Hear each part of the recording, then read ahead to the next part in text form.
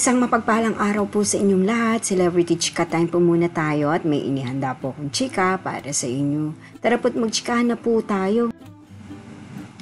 Maine Mendoza super excited na sa darating na April 10 para sa premiere ng kanyang Main Goal Season 3. At Alden Richard mas lalong pinainit ang mga netizens sa kanyang Instagram post.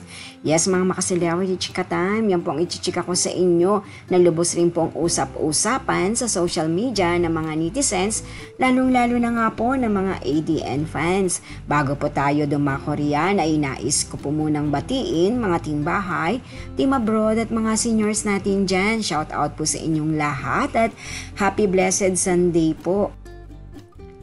Ayan na nga po, sa darating na April 10 sa ganap na ikawalo ng gabi ay ang premiere na nga po ng Mingle Season 3. Marami pong nakamiss ng programa po na ito ni May na mapapanood po sa TV5 at Buko Channel.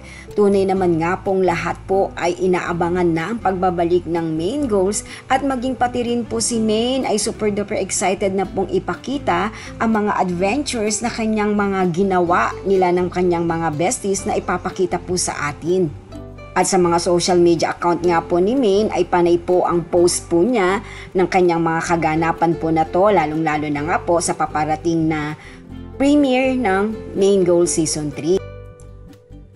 Si Alden naman sa kanyang Instagram post ay feel na feel na po ang summer. Talaga naman pong ipinost po ni Alden ang kanyang pagsuswimming at may caption po ito na feeling the heat Marami po ang nag-react at pinusuan ang Instagram post po na yan ni Alden na talaga naman pong naki, nakarelate kay Alden dahil sa sobrang init na nga po ng panahon ngayong paparating nga po ang Simana Santa.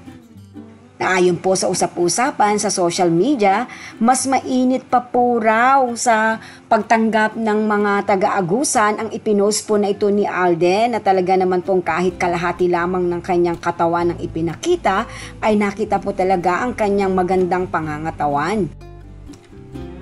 Sa kasalukuyan nga po ay wala pong masyadong pa-update si Maynard Alden. Alam naman po natin na parehong uh, busy-busy at abalang-abala sa kanilang showbiz commitment. Si Alden nga po ay katatapos lamang ng Omaham o Omajam Festival sa Agusan del Sur at si May naman ay sabi po nila ay nasa bakasyon kung kaya't hindi po natin siya nakikita na ayon rin naman po sa mga ADN fans, eh, mukhang sila rin naman puro daw ni Alden ang magkasama sa bakasyon na ito.